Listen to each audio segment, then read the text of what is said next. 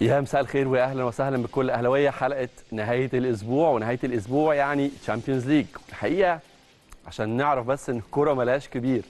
يعني لو في يوم لو في يوم يأكد على فكرة إنه الكورة ملهاش كبير وإنه مفيش نتيجة مضمونة وإنه المقدمات والأرقام والقيم التسويقية والتاريخ والبطولات مالهمش علاقة بال 90 دقيقة اللي جوه الملعب يبقى هو امبارح. يبقى إحنا بنتكلم على امبارح. امبارح كل الكبار وأعتقد كل التوقعات انهارت كل الكبار تعثروا. مفيش استثناء. كل كبار أوروبا وكل المرشحين على الأقل الوصول لل يعني لاخر المشوار مش هقول لك لتحقيق اللقب. توصل مثلا مربع ذهبي توصل مثلا مباراة نهائية. تعثروا أمام فرق تقريبا مش مصنفة. تقريبا ما حدش يتوقع إنها كانت تحقق النتائج دي في مباريات امبارح. ريال مدريد تعثر أمام شختار وكأنه كتب عليه قدام الفرقة الضعيفة أو الغير مصنفة يكون دايما مفاجآت. باريس سان جيرمان تعثر قدام بنفيكا. مانشستر سيتي تعثر طبعا قدام كوبنهاجن الدنماركي اللي ناس كتيرة جدا كانت الم... يعني معتقدة إن المباراة دي هتكون كرنفال أهداف ولكن انتهت المباراة بالتعادل السلبي. اليوفي يعني تعثر قدام فريق نكرة. فريق ملوش أي مستوى أو أي تصنيف من أي نوع وهو طبعا ممثل الكيان المحتل الكيان الصهيوني خسر بنتيجة 2-0 فالحقيقة درس مهم جدا. مفيش مباراة محسومة مقدما. مفيش نتيجة مضمونة قبل ما تلعب. وال90 دقيقة هي الفيصل في النهاية. بمناسبة الكلام على ال Champions League وبمناسبة إن إحنا كمان بدأنا Champions League هيكون كمان ال Champions League الأفريقي حاضر في حلقة النهارده معانا. وبمناسبة ده سؤالنا لجمهور النادي الأهلي في حلقة النهارده. مرتبط بصفقات أو الظهور الأول للصفقات الأهلي في الموسم الجديد هو ما هو تقييمك لأداء شادي حسين وبرونو سافيو في أول ظهور ليهم في ماتشات الأهلي في الموسم الجديد؟ نسمع رأيكم وهنستعرض طبعا جزء من آرائكم في نهاية الحلقة. طيب نفكركم قبل ما نبدأ ونقول عناوين الأخبار. بماتشات النهارده. النهارده عندنا جوله مهمه جدا. يمكن المواجهه الابرز أو المواجهه المنتظرة بالنسبة لجماهير الكرة المصرية هتكون مواجهة الليفر أو ليفربول طبعا بقيادة محمد صلاح في مواجهة رينجرز الإسكتلندي واحدة من الماتشات اللي جماهير الكرة المصرية هتتابعها النهارده. طيب لغاية لما تجهز بقية الماتشات خلينا نروح لأهم العناوين والأخبار. محاضرة وتقسيمة في مران الأهلي وفقرات خاصة لحراس المرمى. عمار حمدي يواصل التأهيل قبل العودة للتدريبات الجماعية. كولر يمنح أحمد عبد القادر تعليمات خاصة. وليفربول صلاح في مواجهة استعادة الثقة أمام رينجرز الإسكتلندي بدوري الأبطال. على عهدة دسان أربع أندية إنجليزية تنافس ريال مدريد على ضم إمبابي في يناير.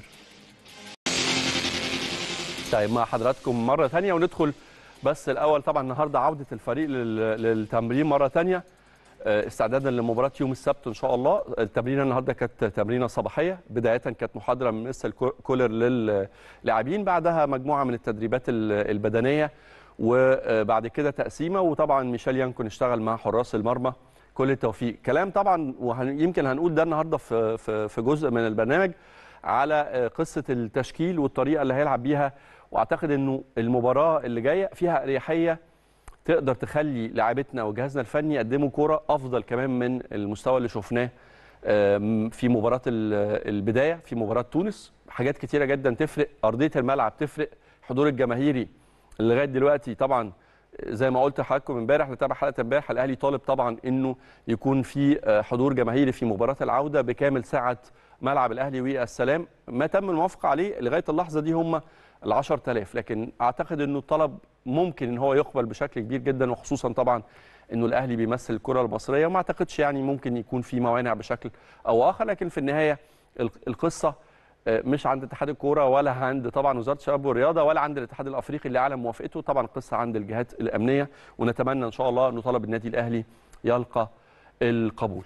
عمار حمدي وأنا الحقيقة السنة دي تراهن على عمار بإذن الله إن شاء الله يكتمل شفائه أو يكتمل البرنامج التأهيلي اللي موضوع ليه بشكل كامل. هيكون بإذن الله واحدة من أهم الأوراق اللي موجودة في سكواد النادي الأهلي.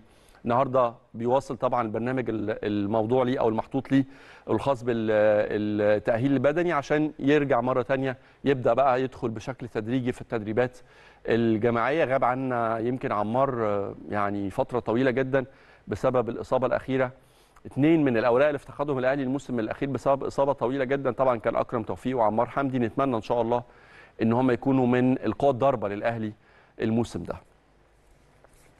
كلام كتير الحقيقة مرتبط كمان باحمد عبد القادر. والحقيقة أحمد عبد القادر من ال من ال من ال اللعيبة أو من الأوراق اللي تقدر تراهن عليها دايما اللعيب اللي بيملك الحلول ده هو العملة النادرة. وأحمد عبد القادر واحد الحقيقة تقدر تراهن عليه في إيجاد الحلول ايا كان المركز اللي بيلعب فيه. يعني أحمد عبد القادر ممكن جدا يلعب 10 وممكن جدا يلع- يلعب جناح. وفي المركزين الحقيقة كان بيلعب ده مع سموحة بشكل جيد جدا. ومع الأهلي طبعا كجناح شمال قدم عروض ولا أروع. وأعتقد إنه واخد لعيب مش محتاج لسه ياخد الثقة. لعيب واخد ثقة جمهور النادي الأهلي. ويمكن مستر كولر مركز مع عبد القادر في بعض العناصر كده اللي مستر كولر بيشتغل عليهم بشكل فردي. بيحاول يوجد عندهم الحافز بيحاول يطوع يحاول يوظف من إمكانياتهم بشكل يخدم مصلحة الفريق. وأحمد الحقيقة محتاج أو كل مش أحمد بس الحقيقة كل نجومنا محتاجين دعم من جماهيرنا في الفترة دي إنك تحط الثقة وإنك تقف في ظهر لعيب لعيبتك ونجومك لغاية لما إن شاء الله بإذن الله يوصلوا للي إحنا كلنا بنتمناه أو بنحلم بيه. الموسم ده يكون موسم الحقيقة كله بطولات وإنجازات للنادي الأهلي. بيشتغل معاه على أكتر من من جزئية فكرة ال- ال- التصويب من مسافات بعيدة فكرة التحرك بكرة ومن غير كره فنتمنى إن شاء الله وأنا قلت إنه أحمد الحقيقة من يعني من ال- اللعيبة المصرية القليلة جدا اللي ممكن يوصل لبعيد لبعيد لبعيد لأنه إمكانياته تسمح له بده. المهم يفضل يشتغل ويطور من نفسه. طول الوقت ويستفيد من كل خبرة تدريبية بيشتغل معاها سواء في النادي الأهلي أو إن شاء الله بإذن الله لاحقا. عندي ثقة كبيرة جدا إن هو يكون موجود مع آه، منتخب مصر. طيب نروح لماتش النهارده الساعة 9 تحديدا مواجهة نارية. وأعتقد إنه مستويات ليفربول في الدوري الإنجليزي بتحتم على يورجن كلوب وبتح- وبتحتم على نجوم الفريق إن هم يفكروا بشكل أكتر تركيز في بطولة ال Champions League. لأنه ما زالت فرصتهم قائمة. النهارده النهارده عندهم ماتش آه، في اسكتلندا على ملعب آه، جلاسكو رينجرز الاسكتلندي مباراة هتكون صعبة بكل تأكيد لكن في النهاية ما زالت فرص ليفربول في محاولة على الأقل يحاول أو على الأقل هدف ممكن يكون آه، ممكن تحقيقه. لأنه أنا بشوف إن بطولة ال Premier League بقت بعيدة قوي على ليفربول. صعب يعني صعب في ظل كمان السنة دي عندنا الأرسنال محدش يقدر يعني يقول إنه الأرسنال مش فريق مرشح. الأرسنال حتى اللحظة اللي بكلم حضراتكم فيها متصدر البطولة على حساب كل العمالقة على حساب السيتي على حساب تشيلسي على حساب توتنهام على حساب يونايتد على حساب ليفربول نفسه. فالأرسنال السنة دي غير. السيتي طبعا مرشح فوق العادة. يعني مستويات أكتر من رائعة ومع وجود هالاند والأرقام والأهداف اللي بيعملها هالاند لا، ما تقدرش تستبعد المان سيتي وحتى من غير وجود هالاند. لازم تر- ترشح السيتي ك بطل محتمل لمسابقة ال Premier League. توتنهام مش بعيد. تشيلسي ابتدى يرجع. يونايتد لازم هيقوم. فبالتالي فرص بعد أكتر من تعثر آخرهم طبعا قدام الأرسنال آه، ما عندهمش غير ال Champions League وأعتقد عليهم إن هم يركزوا في بطولة ال Champions League لأنه فرصهم آه، أكبر بشكل كبير. طيب أفكركم بمناسبة لقاء الرينجرز و... و... والليفر في ماتشات آه، لل Champions League النهارده. تعالوا نشوف هيكون عندنا ماتشات إيه تانية. هي الجولة دي يعني مش أحسن يعني ما فيهاش الكلاشات أو الماتشات أو اللقاءات اللي ممكن تنتظرها ويبقى في كده إجماع عليها. لكن في النهاية عندنا النهارده نابولي في مواجهة اياكس طبعا بعد خسارة فادحة لاياكس أمستردام بنتيجة ال 6-1 عندنا آه كلوب بروج في مواجهة أتلتيكو مدريد عندنا رينجرز اسكتلندي في مواجهة ليفربول عندنا بورتو البرتغالي في مواجهة ليفركوزن عندنا البارسا في مواجهة الإنتر ودي يمكن تكون أقوى مباراة النهارده هتجمع بين الفرقتين بعد ما الإنتر في جوزيبي مياتسا قدر يخطف الم... أو يخطف البارسا بهدف أنا شايفه عكس سير المباراة وشايف إنه البارسا كان الأخطر والبارسا كان الأحق بالفوز في المباراة لكن في النهاية اللي بيكسب بيكسب لكن في النهارده على كامب نو آه، أعتقد إنه برشلونة فرصة هتكون قوية جدا في مواجهة الإنتر ويمكن تكون أقوى مباراة من حيث أسماء الفرق اللي بتشارك في أو في المواجهة دي. عندنا فيكتوريا بيلزن في مواجهة بايرن ميونخ عندنا فرانكفورت في مواجهة توتنهام وعندنا سبورتنج لشبونة في مواجهة مارسيليا. دي مباريات جولة النهارده من ال Champions League. خلينا نروح لفاصل ونرجع بعد الفاصل مع حضراتكم. مع ضيف معانا من النمسا. هنتكلم الحقيقة عن مشاركة طبعا سالزبورج في بطولة آه، آه، دوري الأبطال. التعادل امبارح آه، آه، حققه الفريق. عن كمان بما إنه النمسا كانت واحدة من محطات مارسيل كولر المدير الفني للنادي الأهلي يبقى لازم نقف مع المحطة دي وهنتكلم بالتفاصيل بس بعد الفاصل. طيب خليني بس أطمنكم على مباراة الأهلي والجهراء الكويتي في البطولة العربية. الشوط الثالث انتهى لصالح النادي الأهلي بنتيجة 70 48 وإن شاء الله بإذن الله الأهلي في حالة فوزه النهارده يواصل مشواره وهيكون في مواجهه كازما الكويتي اللي نجح في التغلب على الاتحاد السكندري وأقصاه من البطولة. هنتابع 70 42 مش 48 وبالتالي إن شاء الله بإذن الله الأهلي قريب جدا من حسم نتيجة المباراة. نتمنى التوفيق في الوقت المتبقي من مواجهة الأهلي والجهراء. خلينا نروح الأول لفقرة ال GPS اتعودتوا عليها في كل يوم أربع من السادسة ونشوف رغم ان الحقيقة يعني كله مش في أفضل أحواله لكن ما فيش مانع ناخد جولة مع اللاعبين المصريين المحترفين في الخارج ونشوف أرقامهم ونشوف آه، شكل مشاركاتهم مع فرقهم في الدوريات المختلفة كانت إزاي الأسبوع ده. البداية هتكون من إنجلترا وتحديدا طبعا مع المو محمد صلاح. هنروح لليفربول في مواجهة الأرسنال الأخيرة اللي انتهت لصالح الأرسنال بنتيجة 3-2 طبعا شارك محمد صلاح وتم تغييره أثناء المباراة. النتيجة انتهت 3-2 زي ما قلت لحضراتكم. كان ليه محاولة وحيدة على المرمى. ثلاث مراوغات نجح في اثنين منهم. 19 تمريرة تمريرة بنسبة دقة 89% كي باس واحدة بس. خسر الكرة خمس مرات. تقييمه في المباراة كان 6 فاصل أو 6.5 درجة. وليفربول حاليا في المركز العاشر برصيد 10 نقاط. طبعا في انتقادات وفي ضغوط رهيبة جدا على محمد صلاح. اختبار الحقيقة. دايما كنا بنتكلم على عقلية صلاح واللي نجحت أو نجح في استغلالها بشكل عمل معاه النقلة النوعية على مدار سنين طويلة جدا خصوصا في واحد من أهم الدوريات وقدر يوصل للقب Champions League وقدر يوصل لقب Premier League وقدر يكسر كتير من الأرقام القياسية ودايما حاضر كهداف للبطولة.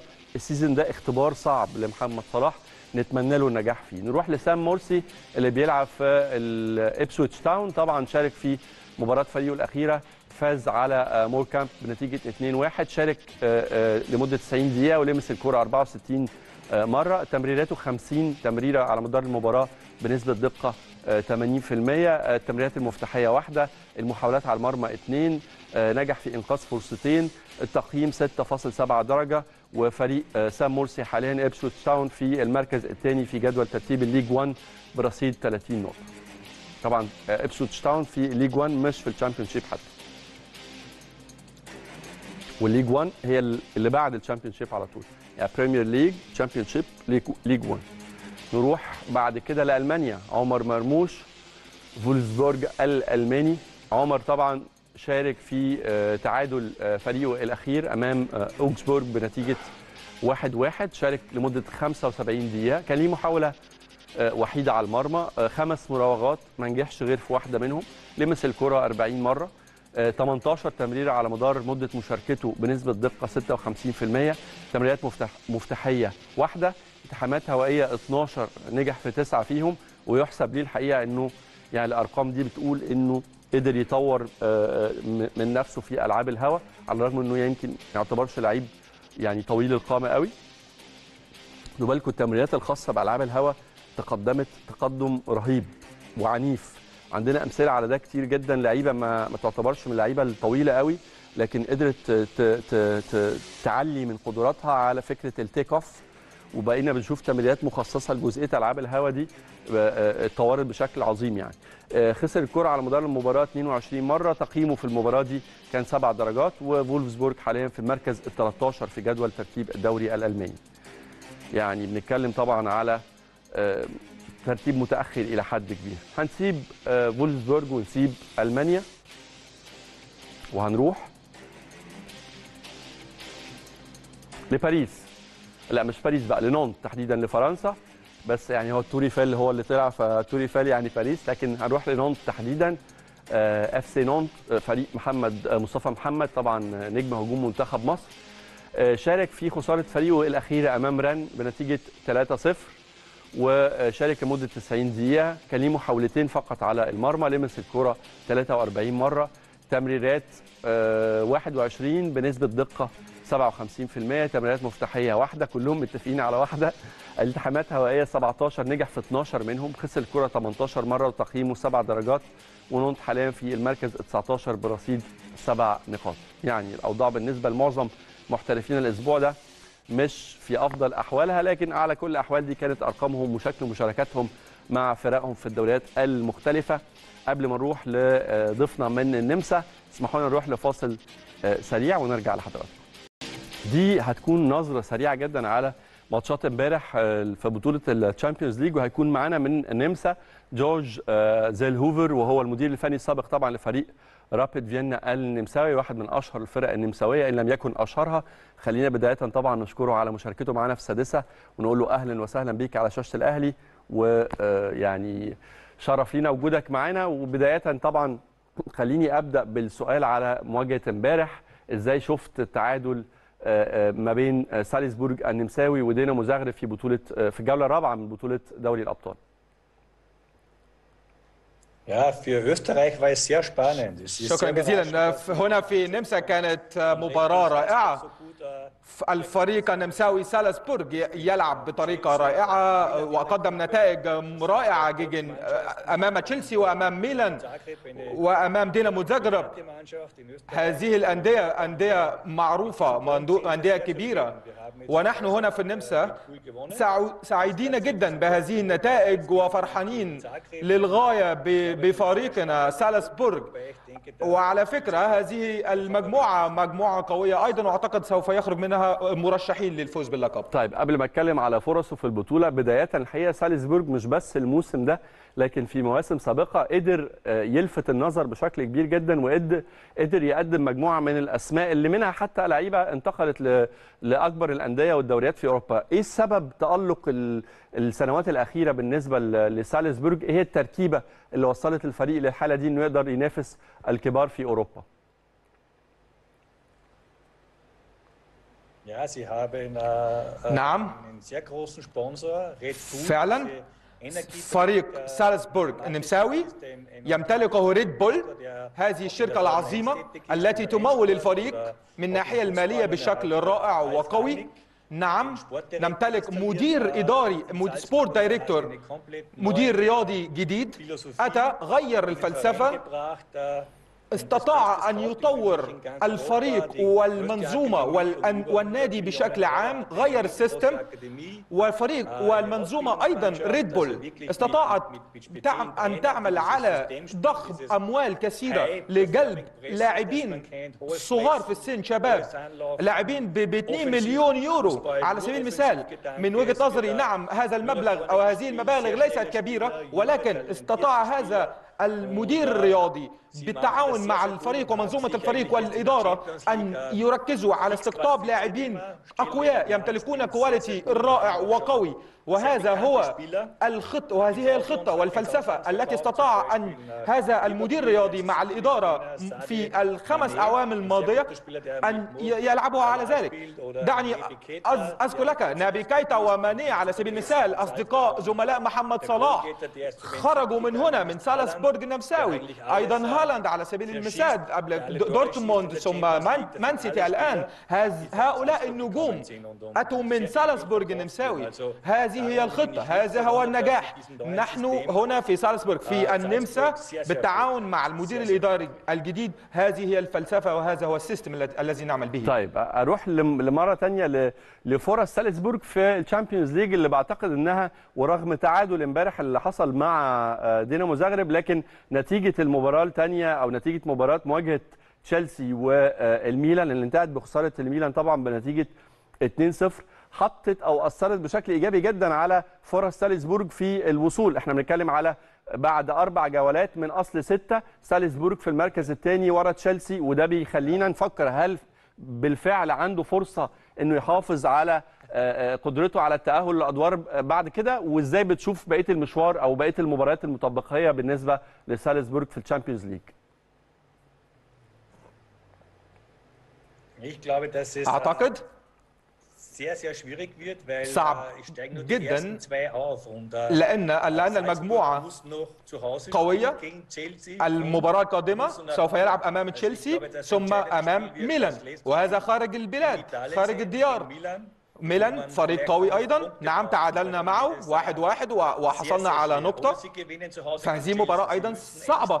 والمباراة الأخرى أمام تشيلسي مباراة صعبة. فلا بد علينا من الفوز سواء الفوز أمام ميلان أو تشيلسي وهذا صعب من وجهة نظري. من خلال ال- البدايات أو الماتشات اللي اتلعبت في بطولة ال Champions League مين الفرق اللي أنت ترشحها أو شايف إن عندها القدرة على إنها توصل لتحقيق اللقب في نهاية البطولة؟ يا. نعم. أعتقد هناك فرق قوية كثيرة. المرشح من وجهة نظري هو مان مان سيتي مع بيب جوارديولا مان سيتي أعتقد سوف يحصل على اللقب هذا العام. فريق قوي. نعم. استطاع أن يقوي خطوط هجومه مع هالاند واستقطاب هالاند. وأعتقد أن هالاند سوف يساعد أيضا بتطوير الناحية التهديفية أكثر وأكثر مع مان سيتي وسيكون مرعب وسيكون من وجهة نظري هو المرشح ريال مدريد أيضا استطاع أن يحصل على اللقب العام الماضي وأعتقد أن آه، بايرن أيضا بعد آه، رحيل ليفاندوسكي. وأيضا ميسي أيضا مع آه، باريس سان جيرمان أعتقد هم المرشحون. طيب هتنقل معاك لنقطة تانية ويمكن الحقيقة من خلال يعني تدريبك لفريق رابيد فيينا ومن خلال متابعتك للكرة النمساوية بالتأكيد تابعت المرحلة اللي تولى فيها المدير الفني السويسري مارسيل كولر آه، مهمة تدريب المنتخب النمساوي. بداية إزاي بت أو بتشوف الم- المرحلة دي وإيه تقييمك لإمكانيات وقدرات مارسيل كولر مع النجاحات طبعا اللي حققها مع منتخب النمسا؟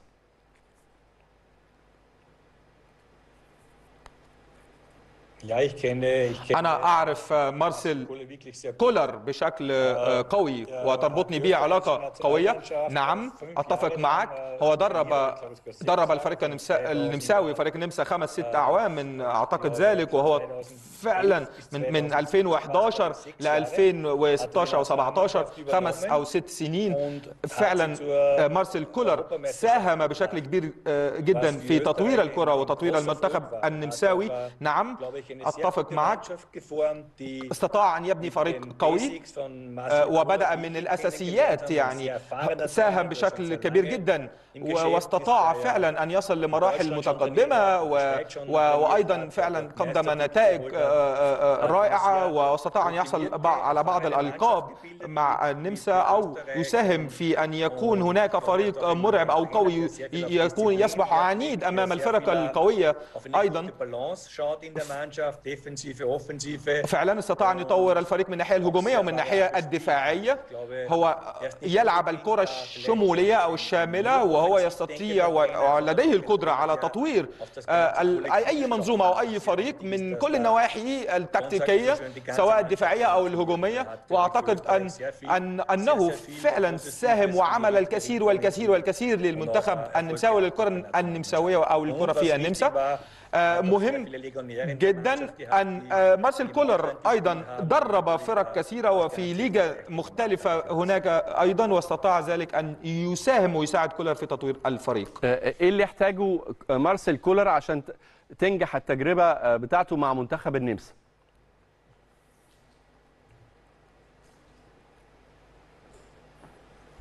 er hat auf der einen Seite, glaube ich, auch ein bisschen, bei uns sagt man so, die Gunst der Stunde gehabt, dass wir اعتقد zu هو äh, ركز في viele على haben. يستقطب لاعبين آه، ألابا على سبيل المثال من ريال مدريد على سبيل المثال يتطبع آه، لا- يتتبع اللاعبين ال- المحترفين في الخارج وهذا هو العامل الأساسي الذي ساعد آه، مارسيل كولر أن أن أن ي- أن أن يتتبع اللاعبين ويتابعهم ويركز على استقطاب لاعبين أقوياء أصحاب كواليتي رائع يساعدون ويساهمون يسا- يساعدونه شخصيا في تطوير آه، أو تنفيذ أفكاره وفلسفته فعلا هو كان هناك آه، نقطة أساسية في تجميع اللاعبين والقرب منهم والتعاون واللعب مع معهم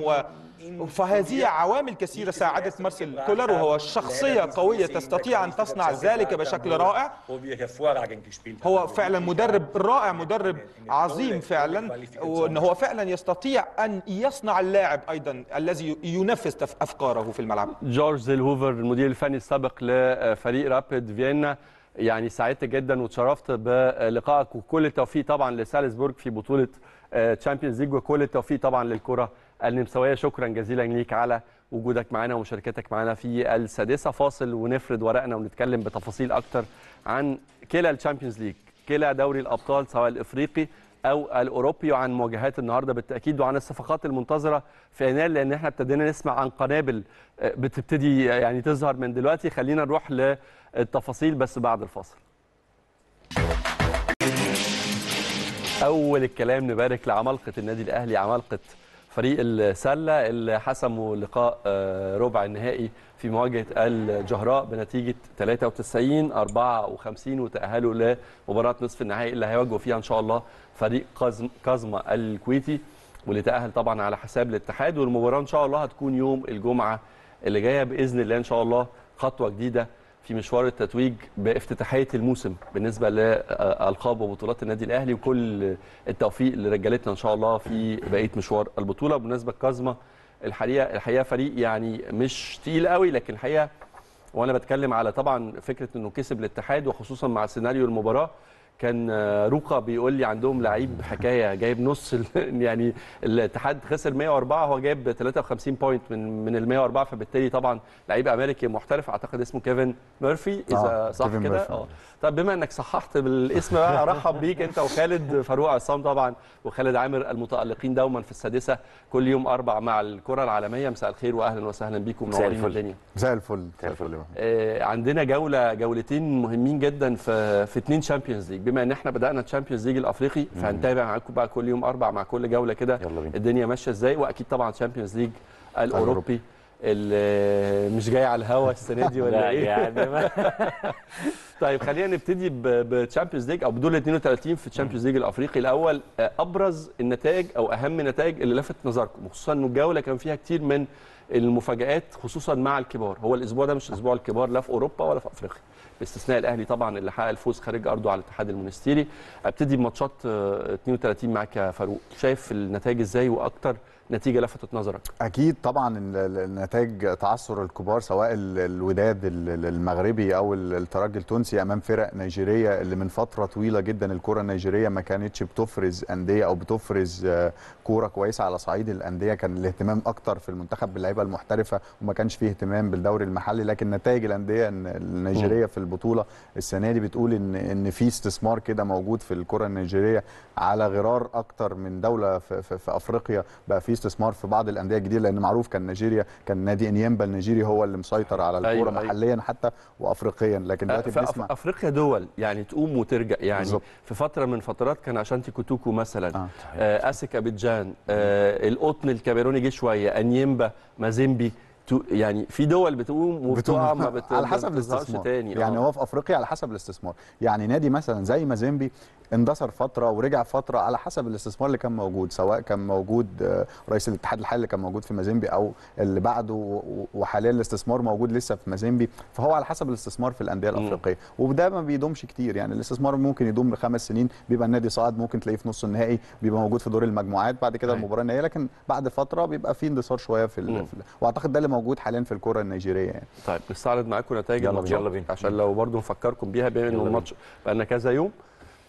دي جولة 32 طبعا يانج افريكانز لا الأول المريخ السوداني في مواجهة أهلي طرابلس بنتيجة 2-0 لصالح المريخ. نتيجة طبعا على ملعب المريخ فكانت نتيجة منطقية. يانج افريكانز تعادل 1-1 مع الهلال السوداني.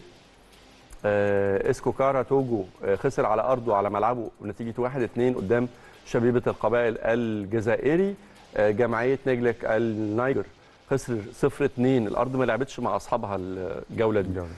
0 2 قدام الرجاء الرياضي المغربي. كيب تاون الجنوب أفريقي خسر بنتيجة 0 3 قدام بيترو أتلتيكو على ملعبه برضه. نتيجة كبيرة جدا طبعا. فايبرز الاوغندي تعادل 0 0 مع مازيمبي. الكونغولي الاتحاد المنستيري خسر على أرضه وسط جمهوره من الأهلي بنتيجه 1 0 أيوه هاتوا لنا التقايل بقى هاتوا لنا آه بقى. جاي ده آه، نيجيريا نيجيريا مكسرة الدنيا. دي آه لا لاباس آه لاباس آه سيشال خسر 7-0 في على ملعبه. من صن من داونز صن من. سان داونز. سان داونز جاي إيه؟ يكشر عن أنيابه. أتقل نتيجة طبعا وأتقل score في الجولة.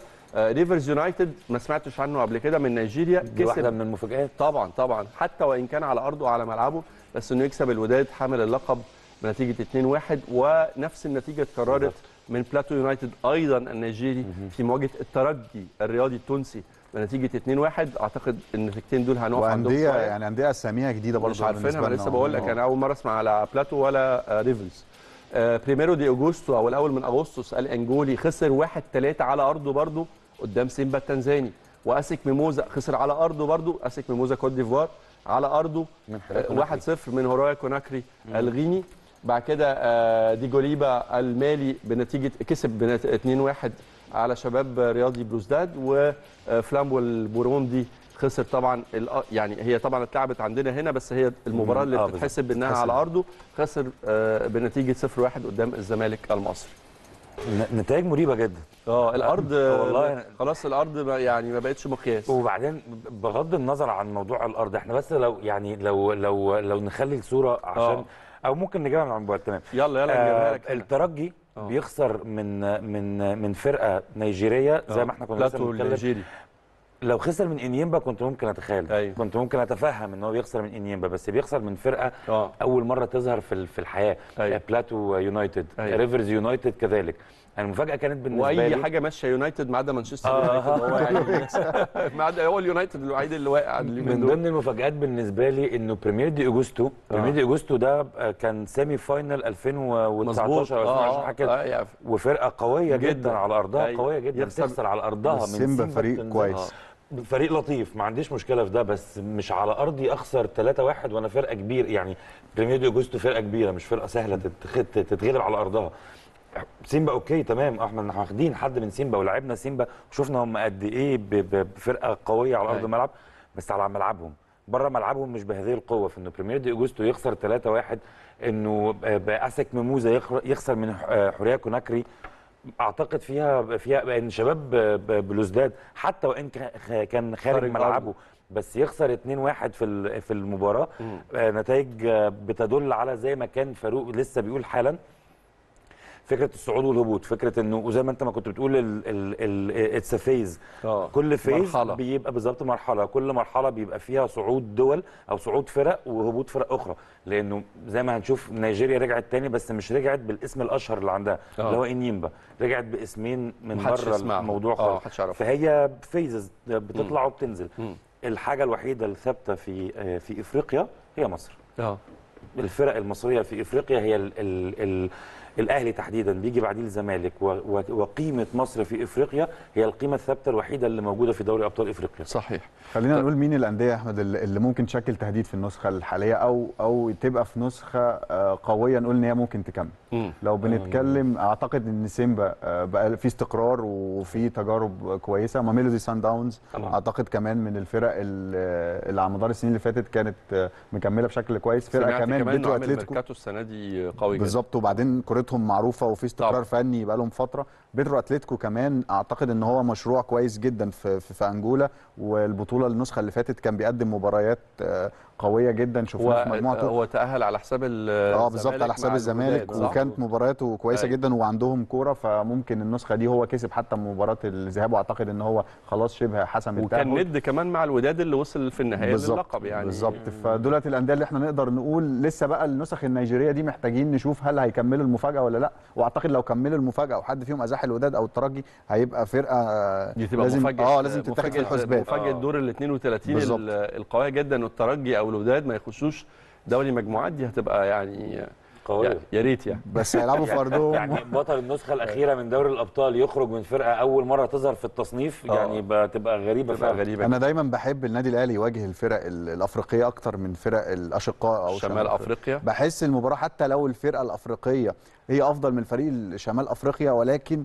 في كده شوية إيه يعني لما تلاعب لعيب من شمال أفريقيا هو لعيب شبهك أفكاره زيك عنده التزام تكتيكي كبير لكن اللعيب الأفريقي ممكن شوية بس إحنا يبقى في شوية رعونة يعني تكتيكية. يعني أنا هختلف معاك في النقطة دي. يمكن ده كان زمان لكن في الخمس ست سنين اللي فاتوا لا يعني أو في. الثلاث أربع سنين اللي فاتوا ما بيتهيأليش إنه في فريق في, في أفريقيا قدر يتعب النادي الأهلي. وهستثني من ده مباراة النهائي لأن أنت عارف إن مباراة النهائي. الأمور ما كانتش fair يعني الم- المباراة دي لو لو لو اتعملت في ظروف طبيعية 10 مرات الأهلي يكسب سبع أو ثمانيه والوداد يكسب اثنين يعني هبقى وهبقى fair كمان. لكن انت كسبان الوداد في آخر ثلاث سنين رايح جاي كسبان الترجي رايح جاي كسبان الرجاء كز... يعني مفيش حد في أفريقيا أرهقك حتى من الكبار مع كامل التقدير والاحترام كلهم أندية كبيرة جدا طبعا وبالتأكيد مرشحين للمنافسة على اللقب لكن انت في السنوات الأخيرة انت قدرت تروض شمال وجنوب صح ولا؟ يعني متفق بنسبة ومختلف بنسبة لأنه لا التجارب مع فرق شمال أفريقيا طبعا مع مع مع الوضع في الاعتبار إنه الأهلي كان الأكثر حظا عليهم في فترات كبيرة جدا من الزمن بنتكلم في آخر خمس سنين خسران ثلاث نهائيات الثلاثة من شمال إفريقيا تمام. فلازم نحط ده في الاعتبارات آه. برضو وإحنا بنتكلم آه فيها عوامل خارج الملعب وفيها آه اللي بيقال إن هو بفعل فعل المصطلح اللي أنا ما بحبش أقوله آه. ولكن اللي هو الواضح جدا بالنسبة للجميع بس ده ما ينفيش إن هم فرق لازم تحترم في الملعب جدا طبعا طبعا جداً. طبعا ما منافسين محترمين لازم تديهم بالظبط. حقهم بص هو الاحترام المنافس ده سواء آه، الاشقاء أو سواء أي طبعاً، فرقة طبعاً. ده جزء من الرياضة. تمام جدا ما عنديش مشكلة في ده. بس هو زي ما كان فاروق ما بيقول لو لازم تحترم الأشقاء في ال في ال في, ال في, شمال إفريقيا أكتر من غيرهم لأن هم شبهك. وعارفين أنت بتفكر إزاي؟ لأن هم بيفكروا زيك. حتى نفس ال mentality في الملعب آه نفس الروح نفس نفس. الجرينتا في الملعب.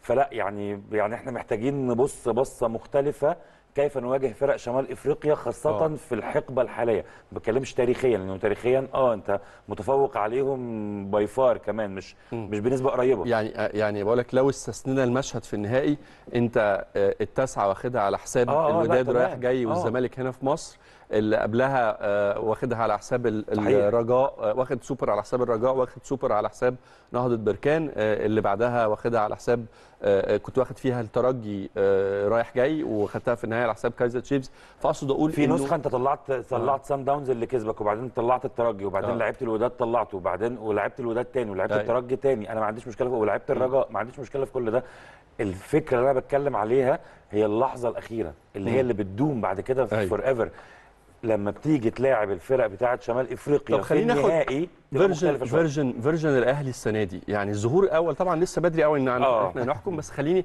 حتى ده ده كان سؤال حلقتنا النهارده للناس آه، آه، آه، ظهر الأهلي لأول مرة تحت قياده مارسيل كولر خليني آخد رأيكم في صفقات الأهلي اللي ظهرت تقييمكم لشادي حسين جميل. وبرونو سافيو في مباراة الأهلي والاتحاد المنستيري برونو أنا أعجبت بيه من الوهلة الأولى آه. برضه من النظرة الأولى كده أيوه، أيوه. يعني بغض النظر بقى بغض النظر عن هو حتى هيبقى لعيب كويس أو لأ بس في كده بوادر بتظهر بوادر المهارة فرديه ما كانتش موجود أو ما شفناهاش من سنين كتير في الدوري.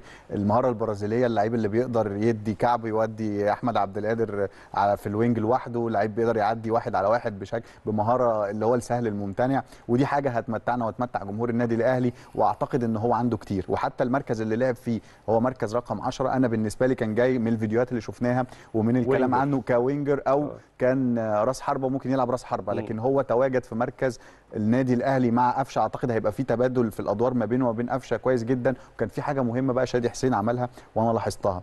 إن أغلب التمريرات اللي كانت جاية له كانت جاية له من خط دفاع النادي الأهلي ليه لأن كان في transition بيحصل ما بينه وما بين سافيو وشادي حسين كان بينزل وهو المدرب لما شاف profile شادي حسين بقى عارف إن هو مهاجم متحرك هو. مش راس حربة فأنا هطوع تشكيلتي واطوع افكار المهاجم المتحرك. إزاي؟ إن أنا أخليه يفتح لي مساحة وينزل بقى هو أغلب الوقت هو اللي بيستلم الكورة على حدود منطقة جزاء النادي الأهلي وبيدخل برونو سافيو وبيدخل طاهر محمد طاهر جوه المنطقة. فده كان بيبقى في وجود مساحة في في, في دفاع الاتحاد المنستيري وأعتقد إن شادي هيتم استخدامه في في الحتة دي. لكن مم. أنا عايز أشوف النادي الأهلي معاه راس حربة. راس حربة target راس حربة هداف. واعتقد إن النادي الأهلي اللعيبة اللي موجودة تقدر تودي زي ما شفنا في مان- في مانشستر سيتي مع- مع بيب جوارديولا. الموسم اللي فات كله قال مانشستر سيتي مش محتاج لعيبة. مانشستر سيتي بياخد الدوري ومباراته كلها بيكسبها. لكن لما جه إيرلينج هالاند بقى في اختلاف كبير لأن لسه بالظبط ولسه. لعيبة الأهلي تقدر تودي راس حربة لو في راس آه. حربة كويس ولو شادي قدر يستثمر اللعيبة اللي حواليه وذكاء أحمد عبد القادر ومهارته ووجود برونو سافيو ووجود آه، بيرسي تاو لو كان هيبقى موجود وجود طاهر وجود حسين الشحات في لعيبة كتير تقدر كراس حربة تستفيد منها. فأعتقد ال- التجارب كانت كويسة والتجربة حتى هو لو مش صفقة جديدة بس بالنسبة لي فرق في الملعب اثنين لعيبة. محمود متولي وأكرم توفيق. وأكرم توفيق. أكرم توفيق هو أكتر لا هم صفقتين. أنا بعتبرهم صفقتين. جداد آه. معلومة أكرم توفيق هو أكتر لاعب استخلاص للكرة في المباراة مع إن المباراة دي هي أول مباراة ليه بعد الإصابة. الحاجة الوحيدة اللي كان أكرم لسه محتاج وقت وده طبيعي أي لعيب في العالم هيبقى محتاج الوقت ده فيها هو ال miss pass اللي كان موجود شوية زيادة لأن حساسية المباريات مش موجودة. لكن غير كده هو أكتر لعيب استخلاص للكرة هو أكتر لعيب كان كان موجود في خط الدفاع عمل أيوة. عمل tackling ات أو آه، قطع إيه للكرة. إيه ال squad الحلو ده؟ يعني ما شاء. الله ما شاء الله ربنا يحفظهم ويحميهم من الإصابات. يعني إحنا بنتكلم على على squad الحقيقة ما يختلفش عليه اتنين. وأنت عندك برة كمان يعني برة مش بس اللي على الدكة حتى اللي مش جاهزين. عندك سبعة ثمانية دوليين يعني من على الفرازة. يعني إحنا بنتكلم على quality لعيبة موجودة. وإن شاء الله بإذن الله برضه تاني باكد الأهلي إن شاء الله بإذن الله هيعمل صفقة boom هتكسر الدنيا إن شاء الله وتكون إضافة ال squad ده يا خالد محتاج. صفقات زي ما كانوا كان في كده نغمة موجودة إن الأهلي محتاج تدعيمات ومحتاج صفقات. أنت شايف ال squad ده كان محتاج كل الصفقات اللي كان ال- social media أو الإعلام بيتكلم عنها؟ بص أنا أنا to be fair أنا واحد من الناس اللي وقعت في الخطأ ده. إن أنا قلت إن الأهلي محتاج صفقات. لأن أنا ما حطيتش في في في في, في حساباتي. إنه في عدد كبير جدا من اللعيبة المميزة اللي هترجع من الإصابات واللي هت واللي هتريح من الإجهاد الكبير أيوة. اللي كانت بتعاني منه لما بدأوا يرجعوا من الإصابات ولما بدأت أشوف المباريات الودية ولما بدأت يعني أقعد أمسك ورقة وقلم وأكتب التشكيل بتاع الأهلي بعد الإصابات والإجهاد والكلام ده كله شفت إنه لأ أنت الأهلي ما كانش محتاج صفقات بقدر ما هو كان محتاج يعني زي الكلمة اللي أنت قلتها دي هي اللي أنا كنت بقولها لنفسي عودة عمرو السولية هي صفقة جديدة. آه، عودة أكرم توفيق هي صفقة جديدة. عودة عمار حمدي هي صفقة جديدة. كل اللعيبة ال- top class اللي رجعوا تاني للتشكيل وجاهزين إن هم ي perform بال top quality بتاعه هي صفقة جديدة 100% بالنسبة للأهلي. الصفقات اللي ضمها الأهلي آه وإن كنت شايف إن هو كان محتاج تدعيم في مركز واحد لأنه أنا مش مؤمن قوي بموضوع التوظيف. أنا مؤمن بموضوع التخصص وفي الحالات الاستثنائية نوظف. أيوه. تمام؟ أنا كنت مؤمن إنه الأهلي محتاج playmaker مم. ليه؟ قفشه بيحصل له drop ات كتير بدنية. مم. البدني بيأثر على الجانب الفني فكنت محتاج واحد يعمل rotation مع قفشه بشكل مستمر عشان تريح قفشه عشان تعمل له ال rotation المطلوب ده. برونو سافيو قدر يعملها بشكل عشان كده بقول لفاروق أشكرك لأنه أكتر واحد مميز بالنسبة لي وإن مش هحكم عليه برضو لسه أيوة. ولا على مارسيل كولر ولا على أي حاجة. يعني مارسيل كولر مثلا في في المباراة فكرة ال transitions اللي كان بيعملها اللي كان فاروق بيتكلم عليها من 4 2 3 1 ل 4 4 2 في الحالات الدفاعية وال 4 4 2 مش ثابتة. مرة بتلاقي شادي حسين هو ال wing right وطاهر محمد طاهر هو اللي جوه. مرة بتلاقي أحمد عبد القادر هو ال playmaker وبرونو سافيو هو اللي في ال wing فكان في rotation كبير جدا في الملعب. الفكرة في ده إن أنت عندك لعيبة بتعرف تلعب في أكتر من مركز. أيوة. ولكن فكرة التخصص مش التوظيف مم. الأهلي كان محتاج playmaker بس ال ال خلاص الميركاتو خلص مفيش playmaker جه لحد دلوقتي برونو سافيو هو الخيار الأمثل لل rotation مع آه آه محمد مجدي قفشة. ردا على سؤال آه فاروق لا الأهلي بالشكل ده مش مش محتاج محتاج, محتاج. خالص آه. بس أنا براهن على صفقة تانية تبقى ما حصلتش بإذن الله في مصطفى. ميركاتو يناير بإذن الله إن شاء مصطفى. الله يناير لا في يناير؟ آه، okay. يناير. دي وشايف معلومات إنه- أنت مخبيها ولا إيه؟ لا بص هو يعني أنا شا... أنا كنت مستعجل جدا على الصفقة. وكان نفسي تحصل قبل بداية الموسم. لكن قدر الله ما شاء فعل لأسباب كتيرة مهم. جدا ما تمتش. بس شايف إنه ده خير وشايف إنه ده أفضل لأنه الظروف لما تيجي تعمل صفقة ممكن جدا. بالذات لما تكون أجنبي سيبك من الصفقات المحلية. صحيح. كل الأندية ممكن تعمل صفقات محلية في ميركاتو يناير. لكن الأجنبي الخامس بتاعك وكل الأندية تقريبا خلاص يعني خلصت. عملت صفقاتها. بالظبط. إنت شفت ال ال الخواجة كمان يعني مستر كولا شاف القماشة اللي معاه قعد جربهم في سبع ثمان ماتشات عارف هو عايز إيه فاهم؟ أو إيه الحتة اللي ناقصة في البازل عنده عايز يقفلها؟ السوق كمان بتاع المر... بتاع يناير في في اوبشن ما كانش موجود عندنا كنوادي في مصر بقى لنا ثلاث سنين هو التزامن. أنت دايما كل موسم انتقالات عندك بيحصل بتكون الأندية أو المسابقات الثانية قفلت قوائمها وابتدت مسابقاتها فعشان تفاوض نادي إنه يسيب لك لعيب هو بيلعب بيه. مستحيل. قصة صعبة جدا فلكي. جدا. ومش هيعرف يعوض لازم يستنى الميركاتو اللي بعده. لكن أول مرة بيحصل فبيتهيألي دي هتدي أريحية شوية لإدارة النادي في الاختيار. طيب حاجتين بقى. هو انت تخيلت مثلا إنه ممكن في يوم من الأيام يبقى في خط هجوم في العالم بيقوده إيرلينج هالاند كراس حربة على شماله فيل فودن أنا بشوف فيل فودن واحد من أهم وأخطر الأجنحة في العالم دلوقتي وفي اليمين مثلا كيليان إمبابي. هل السيناريو ده ممكن يحصل؟ لسه فاروق بيتكلم إنه الناس قالت لك السيتي يا جماعة مش محتاج صفقات هتجيبوا صفقات تاني ليه؟ فراح راجل خابط هالاند في بداية الموسم كسر الدنيا. الكلام النهارده على إنه كيليان امبابي وده على عهدة الماركا في أسبانيا ولو باريزيان في فرنسا إنه كيليان امبابي اتكلم مع إدارة باريس سان جيرمان أنا ماشي في يناير. قالوا طب إحنا موافقين بس بشروط مجموعة شروط. أهم شرط فيهم إن نروح في أي حتة ما عدا فين؟ ما عدا فين؟ أنت عارف طبعا فين ما عدا طبعا ريال مدريد. يعني امشي بس ما تروحش ريال مدريد. ودخل في الصفقة دي أندية إنجليزية منها آه، آه، آه، المان سيتي منها ليفربول منها تشيلسي ومنها اليونايتد. إيه قصة ميلان مش موجود؟ دي قايمة شكراً. باكتر بأكتر اللعيبة داخلة. طبعا دول أغلى لعيبة على مستوى ال ال ال العالم. كيليان إمبابي في الصداره ب 115 عادي مليون. فرعوني الكيليان بنتكلم إمبابي. خد بالك. خد بالك دي الأرقام الرسمية. آه.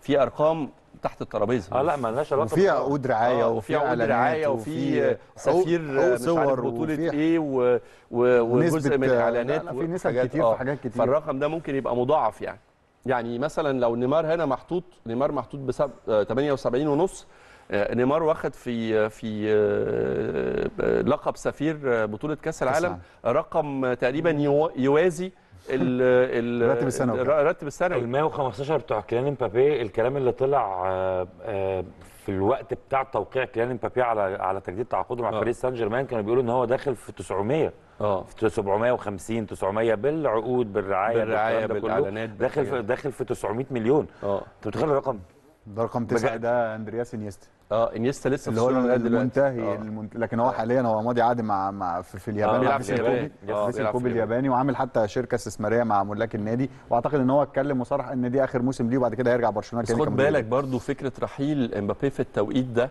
آه، إيه لو يشتروا مثلا خفيتشا أو يشتروا يعني حد ولا إيه يعني أقصد أقول إنه باريس سان جيرمان عينه على لقب دوري الأبطال ولسه بدري قوي عشان تسيب لعيب زي كيليان امبابي في يناير أعتقد بتصعب بشكل كبير من فرص هي كانت. الفكرة من بقاء وأعتقد إن فاروق ممكن يتفق معايا في الموضوع ده لأنه كان موضوع معروف جدا بس ما حدش بيتكلم فيه هو كانت فكرة بقاء امبابي في باريس سان جيرمان هو واجهه دعائية لقطر قبل كأس العالم آه. فكانت فكان باريس سان جيرمان والإدارة القطرية لباريس سان جيرمان مش مستعدة على الإطلاق إن هي تخسر نجمها الأول مم. وال publicity اللي جاية من وراه قبل كأس العالم كاس العالم هيخلص في شهر 12 كيليان امبابي لو عايز يمشي في يناير. بالسلامه اتكل على الله مفيش في مشكلة ثلاث أسباب اتكلمت عنها ماركا.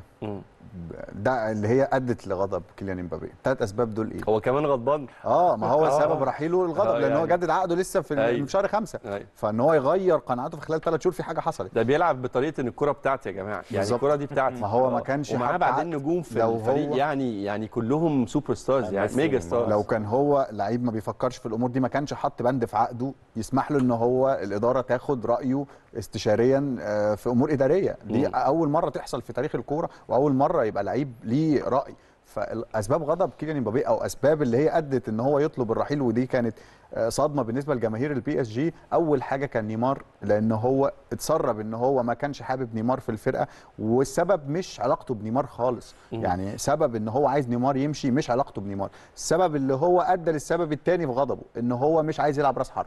ومش عايز يبقى موجود في مركز راس الحرب لأن هو بيشوف إن وجوده في مركز راس الحربة بيقلل من عدد عدد الأهداف اللي بيسجلها وهو دايما بيطمح لمركز كريستيانو رونالدو في ريال مدريد. المركز اللي هو في وجود كريم بنزيما كان موجود لكن الهداف واللي كان عليه العين واللي كان CR7. بيسجل أكتر CR7 ليه؟ لأن هو موجود في مركز الجناح الشمال أو المهاجم الثاني اللي هو بيتفتح له المساحات ويقدر يسجل. لكن اللي موجود حاليا في ال PSG في المركز ده هو نيمار. فعشان كده كان عايز نيمار يمشي. الحاجة الثالثه يا خالد قبل, قبل قبل ما تروح للحاجة الثالثه وتاكيدا على كلامك نفس اللي حصل في 2018 ما كانش هو المهاجم ال ال الصريح كان بي cut inside من على ال wing وكان هو أخطر لعيب موجود. فده تاكيدا على كلام فاروق إن هو نفس ال نفس ال الموديل أو نفس ال- النموذج بتاع آه، كريستيانو رونالدو إمبابي عمله بالفعل ونجح فيه جدا فهو عايز يرجع له مرة تانية هو مع ده وجود تاكيدا على الكلام مع بس. وجود ميسي مع يعني لما حصلت صفقة ميسي أنا كنت متوقع إنه كيليان إمبابي هيبقى جناح شمال ميسي جناح يمين نيمار في القلب وكان قدامهم قدام. إيكاردي بالظبط. يعني ده كانت التركيبة المنط... المنطقية حتى أنا ساعتها قلت يعني يا بختك يا ايكاردي يعني أنت بيلعب آه. تحتك نيمار في ثلاثة وعلى بيخدموا يمينك عليك. آه وعلى يمينك آه، ميسي وعلى شمالك آه، إمبابي فأنت بن يعني في النهاية أنت بتلعب مع ثلاثة هم الأتقل طلع في إن قدوم ميسي هو سبب من أسباب الرحيل لأن السبب الثالث لغضب كيليان امبابي هو علاقة ميسي بنيمار آه. لأن هو دايما شايف إن علاقتهم هم مقربين لبعض حتى داخل الملعب وهو كان شايف إن هو حان الوقت بقى إن أنت زي ما اللعيبة كانت بتبص لكريستيانو لأن هو دايما كريستيانو عنده قدوة. زي ما اللعيبة كانت بتبص لكريستيانو وتدي له الكوره عشان هو يخلص دلوقتي حاليا ده ما بيحصلش. لأن دايما في ثنائية ما بين ميسي ونيمار ما بتعجبوش في أوقات كتير. وحتى ده الانفعال ده ظهر قدام الكاميرات وظهر في الملعب. بيبقى في تمريرات موجودة كيليان امبابي بيعترض قدام الكاميرات وبيخرج من الهجمة وبيروح على جنب بشكل غريب جدا يعني. اتنفخ ادوا حاجة يعني طبعاً. مع احترامي لموهبته أنا ما أقدرش أنكر موهبة كيليان امبابي. طب أقول لك حاجة. بس ما هواش بعظمة الاساطير دليل يعني على النفخ يعني طبعاً. دليل على النفخ يعني اما اقارن مثلا آه، آه، آه، امبابي ب- بفرنسا فرنسا مثلا زين الدين زيدان زين الدين زيدان قد 10 امبابي لما قارنه بتيري اونري تيري اونري ب 10 كيليان امبابي إيه سر ال ال ال لا الإيجو العنيف دول قول حتى ده دول قول دول نجوم صف دول نجوم. صف أول ده أنت لما تقارنه بباتريك فييرا آه باتريك فييرا كقيمة صحيح. في الملعب أيوة. لا ما يعني أنا مش آه. متفق معاكم خالص آه. إزاي؟ أنت أجانس ده كيليان إمبابي آه أنا مش عايز أقول إن هو أنا مش أفضل من مش شايف تيري هو. الافضل في العالم أساسا دلوقتي أنا مش عايز أقول ان هو أفضل من تيري اونري أو أفضل آه. من زيدان لكن كيليان إمبابي لو استمر بمستواه ده هيحقق إنجازات لمنتخب فرنسا والنادي هتفوق كل الأساطير اللي إحنا بنتكلم عليها دي لأن هو لعيب ذكي جدا لعيب عنده كل مقومات المهاجم أو طب نقفل المايك بتاع فاروق يا جماعة شكرا فاروق. لا هقول لك حاجة أصل حاليا ما هو إيرلينج هالاند ما نقدرش نقول إن هو أفضل من أيوة. كل الاساطير اللي فاتوا لكن تمام. الكورة الحديثة دلوقتي بتتطلب مقومات وبتتطلب آه لعيبة بتتطوع للأفكار الحديثة كيليان امبابي هو المثال للمهاجم اللي يجب أن يكون في كرة القدم الحديثة لعيب. سريع لعيب عنده مهارة لعيب بي بيسجل من أنصاف الفرص بيقدر يصنع فرص لنفسه فهو حاليا أعتقد والمستقبل بالنسبة له مبشر جدا وحاجة اخيره لعيب كويس مش آخر. حاجة عارف باريس سان جيرمان عارف. باريس سان جيرمان. طالب كام في كيليان امبابي آه. لسه الخبر ده طالع في ماركة قبل ما أجي يعني من ساعة ومن ساعتين طالب كام من الأندية اللي عايزة كيليان امبابي في يناير 400 مليون يورو أوكي. بعد التجديد لأن هو مجدد لحد آه اللي هو 2025. امشي وإحنا عايزين نص آه، المليار آه. يعني فالرقم ده لما يدفع في لعيب ليه حق يتغير الراجل بص يا صديقي أنا هختلف معاك في نقطة صغيرة جدا. كرة القدم في المقام الأول مهما كان أو مهما بلغ نجومية اللعيبة اللي فيها هي لعبة جماعية تمام؟ الفارق ما بين فرنسا 98 وفرنسا 2002 فرنسا 98 كانوا underdogs مش معروفين قوي بيلعبوا بال بال team spirit آه تياري أونري آه زيدان آه دجوركاييف كل الجيل بتاع 98 ما كانش معروف قوي فكان بيلعب بال بال بال team spirit. لما تعرفوا وده بقى تيري أونري وده بقى زين الدين زيدان وبتاع راحوا 2002 خرجوا من الدور الأول أيوة. وما عرفوش يرجعوا غير لما رجع ال team spirit تاني في 2006 إلى حد ما.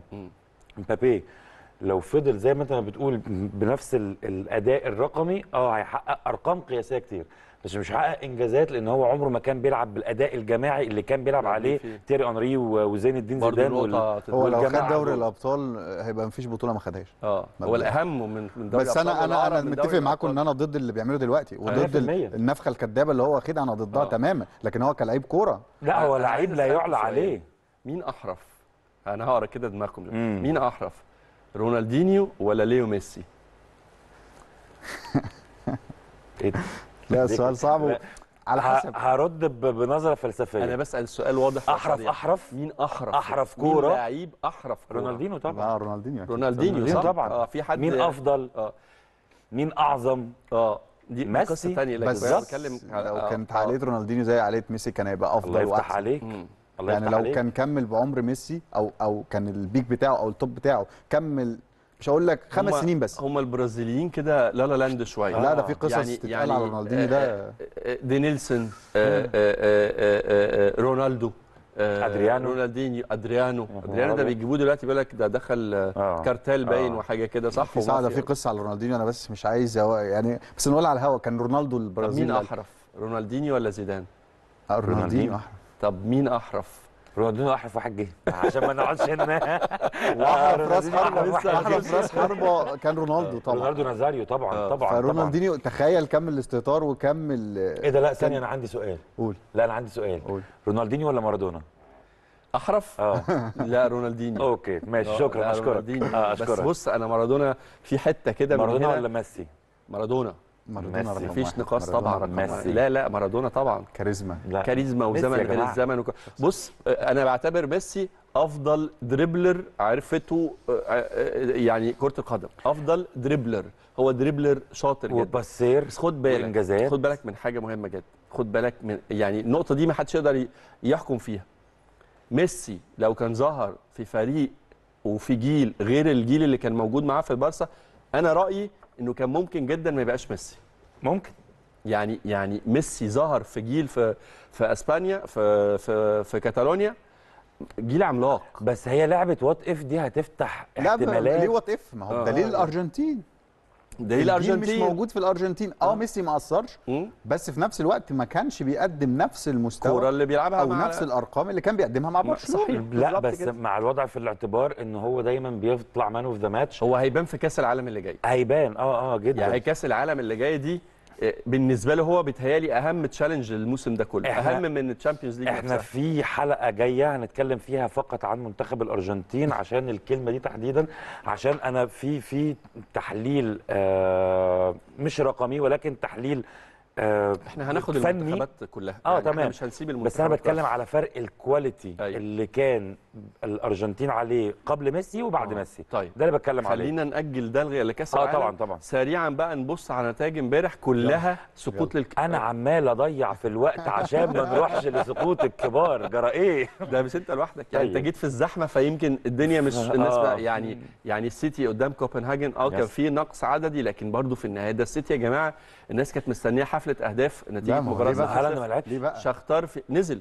نزل في الشوط لا ليه عشان جوارديولا. بيتحين آه. يورجن كلوب يوم الأحد آه. ففيل فودن جنبي على الدكة آه. إيرلينج هالاند جنبي على برضه الدكة يا فاروق مش مبرر يعني ما مش تقنعنيش مبرر على مش. مبرر مش برضه. مبرر، أنت بتلعب. مع كوبنهاجن الكلام ده تقولوا لي أنت بتلعب مع تشيلسي أو بتلعب مع مثلاً، آه. مع الميلان أو بتلعب مع يعني فريق فريق بس مش ملاحظ إن كل الفرق اللي كسبت الثلاث ماتشات الأولانيين تعادلوا شختار شختار اتعادل مع الريال كسب الثلاث ماتشات الريال كسب الثلاث ماتشات آه، الأولانيين مين تاني نتائج امبارح الميلان أنا بعتبرها قدام تشيلسي صحيح بشوف في ظلم تحكيمي تعرض ليه الميلان.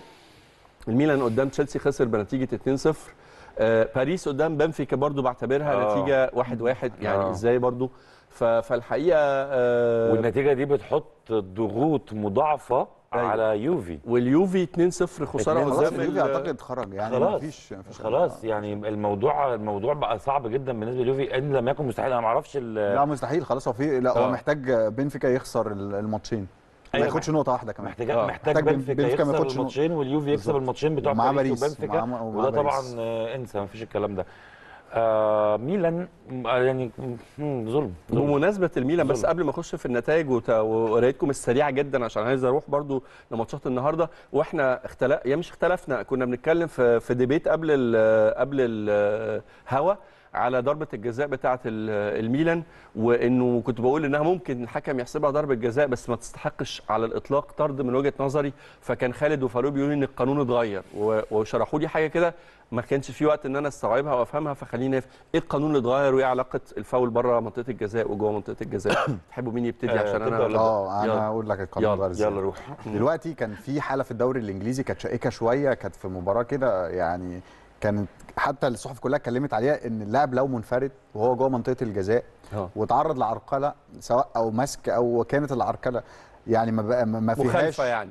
ما فيهاش تهور أو ما فيهاش تعمد للتدخل عنيف. تمام. فهي مخالفة وحتى لو هو منفرد واتحسب له ركلة جزاء خلاص تبقى مخالفة وإنذار. ما بقاش فيه العقوبة الثلاثية اللي موجودة اللي هي الإيقاف بعد كده للطرد وطرد اللعيب وضربة جزاء. فاتغير القانون بقت إن هي لو جوه منطقة الجزاء وما بقاش فيه تهور في التدخل أو التدخل يستدعي بطاقة حمراء إن هي تبقى إنذار وركلة جزاء وعشان ال- ال- المباراة ما لا تحتمل لأن دايما الفيفا رايح للمتعة فأنت المباراة امبارح خلاص أنت قتلتها في أول 16 دقيقة. ما- بقتش ما بقاش فيها متعة.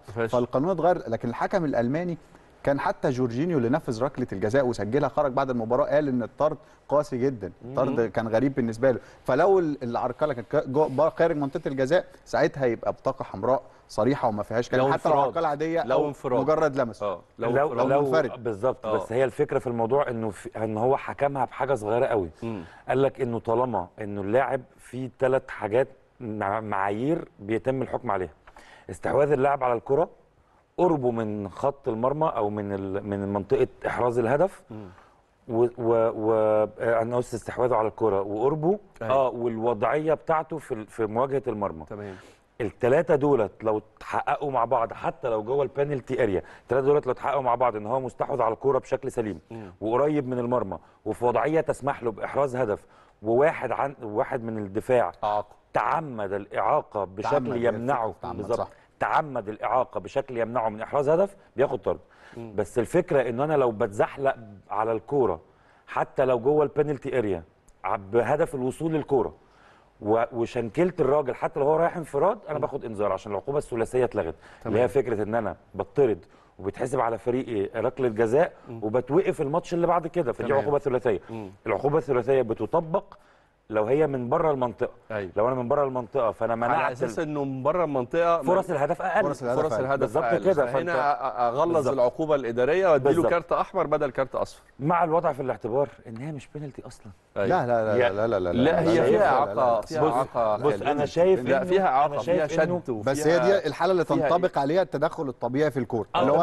أنا أنا م- حتى لو أيوة. مسكته طبيعي يعني أيوة. تدخل طبيعي أنا ممكن يعني أنا رأيي الفير بتاع الكرة دي انها تتحسب penalty وما penalty يطردش. وانذار. ما- عنديش تعمد مشكلة. لل- بس للإزاء. هو قطم ظهركم بقى. آه آه آه مفيش آه. تعمد. واللي. قطم ظهرنا أكتر على فكرة في. في سير المباراة اللي قطم ظهر ميلان أكتر تغيير بيولي. آه. بإخراج إبراهيم دياز في عز ما أنت محتاج واحد يوصل الخطوط ببعض. إخراج إبراهيم خلصت دياز. بقى. بس على الأقل كان عندك أمل. كان بس عندك حاجة يا في خالد عايز أي حاجة. عايز أقول لك حاجة. لو حد عايز يبقى مرجع كده وريفرنس للأداء لو أنت بتلاعب فريق منقوص تعمل إيه؟ يتفرج على المباراة دي ويشوف جرام بوتر عمل إيه. آه. بس. يعني لو عايز بقى تفاصيل أقول لك عمل إيه؟ أقول فريق منقوص آه إزاي تستحوذ على الكورة؟ وإزاي؟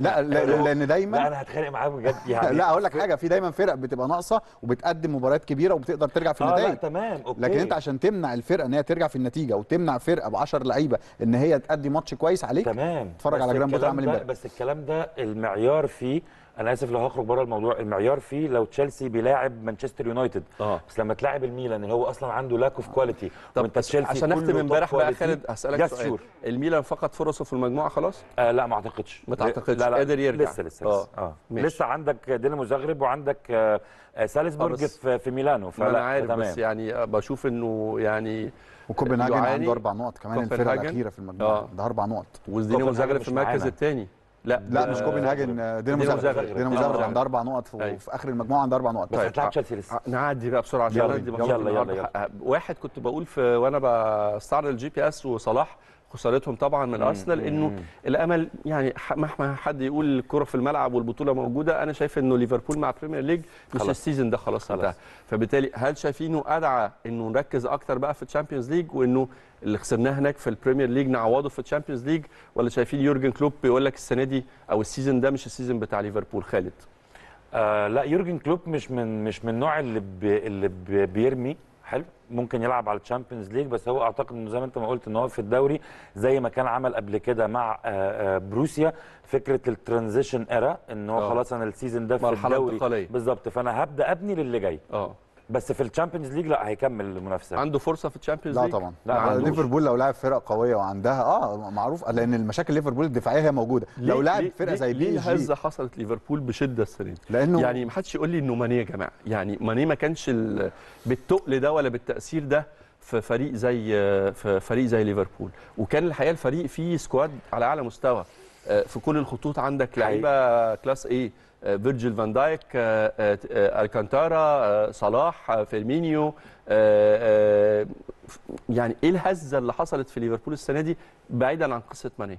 ببساطة ببساطة إن أنت ما عالجتش الثغرات اللي كانت موجودة في فرقتك وكان بيداريها نجاحات أو مستوى نقول فوق طاقة اللعيبة. لكن لما اللعيبة مش هنقول بقى استهلكت بدنيا لكن اللعيبة بعد أكتر من خمس مواسم في ال top form شبعت؟ طبيعي لا مش شبعت فنيا بدنيا و- ونفسيا بيقلوا. لاعب زي أرنولد كان موجود ثغراته موجوده آه، في ليفربول آه، آه، وكان جداً. بيتم استغلالها لكن عشان ليفربول كان فايق كان لعيب زي هندرسون موجود على طول خلف محمد صلاح بيسد الثغرات دي وكان في قمته بدنيا. حاليا هندرسون ما بقاش قادر يغطي المساحات دي وحتى هو اتصاب فترة طويلة وما تمش تعويضه. لعيب زي فينالدوم لما مشي ما تمش تعويضه بال- بال- باللاعب المناسب. ونابي كيتا شفنا إن هو صفقة جت وما استفادش منها. فحاليا أعتقد إن يورجن كلوب ما عملش حساب الفترة دي اللي هي بعد سبع سنين اللي دايما عنده مشكلة فيها. وأنا شايف إن يورجن كلوب موسمه مع الموسم بتاعه مع ليفربول مش هيبقى ناجح. طيب. وأعتقد إن اليوفي حاليا فرصة مثالية ليورجن كلوب إن هو يبدأ معاه السبع سنين جداد في يوفنتوس ومشروع في إيطاليا ومشروع يبقى بالنسبة له جديد. يروح. لأن أعتقد إن اليجري أليجري مش هيكمل. معلش يا خالد ما تزعلش مني. لكن أليجري مش طيب. هيكمل. عايز قرايتكم سريعا جدا خالد. ماتشين النهارده رينجرز في مواجهه في مواجهة ليفربول وإنتر في مواجهة آه، البارسا. أعتقد إن ليفربول فرصته أكبر في في مباراة رينجرز. رينجرز فرقة على قدها شوية.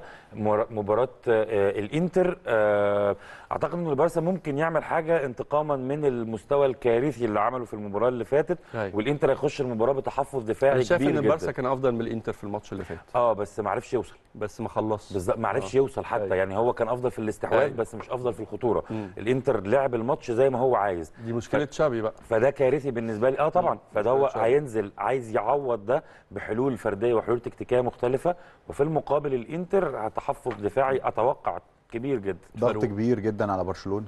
هتشوف أنهي فيهم النهارده لا أكيد أكيد البارسا أكيد البارسا. آه أكيد البارسا لأن رينجرز كمان مش الفرقة زي ما قال خالد إن الفرقة اللي آه. ممكن الواحد يعني آه، يتوقع إن دي هي هتبقى. اللي بتقلب عليها كل شوية تبص أخبار آه، الدنيا صلاح جاب جون آه، ولا لا؟ لكن يعني. البارسا كمان الضغط كبير جدا لأن البارسا لو خسر أعتقد إن هو خلاص مش هيبقى ليه أمل يعني هيبقى الإنتر والبايرن حسموا لكن أيوة. على الجانب الآخر ليفربول معلش معلش في المجموعة بتاعته كانت خدعة شوية إن هو حقق نتائج في أوروبا لكن لما لعب أقوى فرقة في المجموعة خسر. بنتيجة كبيرة جدا فلما يتأهل ويجي من حظه إن هو لأن هو متوقع إن هو هيت- هيطلع تاني أيوة. فيقابل متصدر مجموعة هتقابله فرقة قوية فأعتقد إن هم مش هيعدوا دور ما إحنا 16 شفنا الريال كل السنة اللي فاتت كل شوية يفلت لا، من موقعه ده- ده ويفلت. من موقعه ويفلت ده هيخرج. في الثمانيه هي- هيخرج في اللي بعد سحر. هيخرج اهو هيخرج في الدقيقة 95 سحر مش ممكن يعني نورتوا الدنيا بنسعد بيكم جزيلاً. دايما والوقت بيجري معاكم هوا شكرا جزيلا على وجودكم. معانا وإن شاء الله نتقابل الأربع اللي جاي. نستمتع بيكم بجد خالد آه، عامر وفاروق شكراً عصام شكرا. شكراً جزيلا على. وجودكم معانا وشكرا لحضراتكم وعلى كل خير نتقابل ونحتفل إن شاء الله ببداية مرحلة جديدة بقى في مشوارنا في دوري أبطال أفريقيا بعد آه، ما نقدم عرض قوي يطمن ويفرح ويسعد كل جماهير النادي الأهلي يوم السبت في مباراة العودة في آه، مواجهة الاتحاد المنستيري بشكر حضراتكم وعلى كل خير دايما نتقابل في السادسة تحياتي ليكم